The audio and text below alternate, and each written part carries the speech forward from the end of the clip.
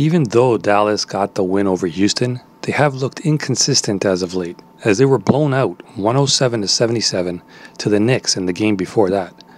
Boston, meanwhile, is now healthy and starting to find their groove, as they are on a five game win streak. The Celtics have a potent offense to give Dallas trouble, along with solid defense as they limit their opponents to shooting just 43.1% from the field and 33.6 from 3.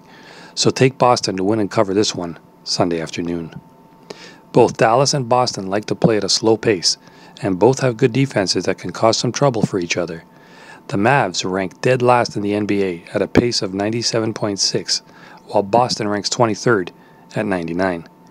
This season as well, Dallas is 42 23 and 2 in hitting the under, while the Celtics are 36 31 and 1. Meanwhile, in the Mavericks' last four games, they have gone under 217 in three of them. Boston, meanwhile, is 2 and 2 in hitting under 217 points in their last four, but they were playing fast paced teams, which won't be the case here. Two plays we're going to have to go with here. We are going Celtics minus 6.